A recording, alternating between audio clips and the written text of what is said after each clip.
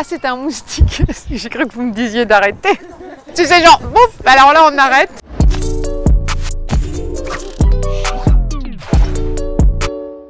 Bonjour, je suis Hélène Ndiaye, euh, je suis DGA de Maïf et DG de Maïvi.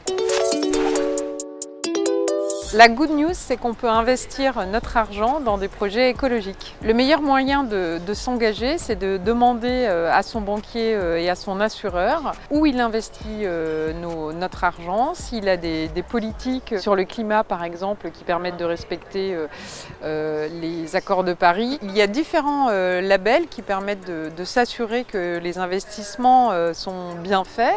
il y a le label ISR, investissement solidaire et responsable. Il y a le label Greenfin sur les labels plus particulièrement verts ou alors le label Finansol sur la finance solidaire. Donc il y a plein de moyens de vérifier ou de s'assurer que euh, ce dans quoi on investit euh, correspond à nos convictions ou nos engagements. Aujourd'hui, il y a quand même un mouvement très fort de réflexion autour de nos modes de consommation.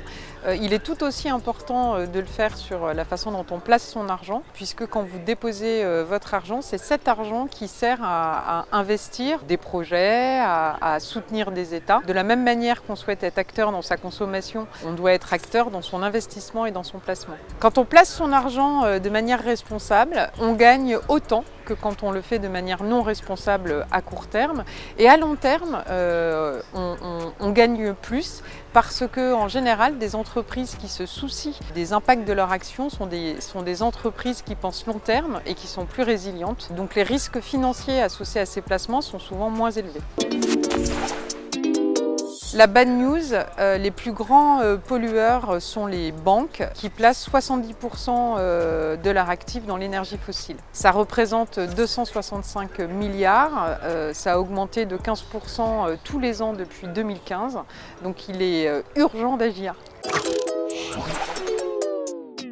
La fake news, c'est qu'on pourrait penser qu'il n'y a pas de solution et réponse n'existe sur le marché. Faux, il y a une prise de conscience et un réel mouvement qui fait qu'il y a aujourd'hui des moyens de placer son argent sans polluer. L'important, c'est que euh, le mouvement existe, certes qui s'accélère, mais que toutes les entreprises euh, s'y engagent. Ce qui est important, c'est de, prendre conscience que euh, nous sommes tous acteurs et nous pouvons tous choisir et que euh, aussi dans le domaine de la finance, chaque acte compte.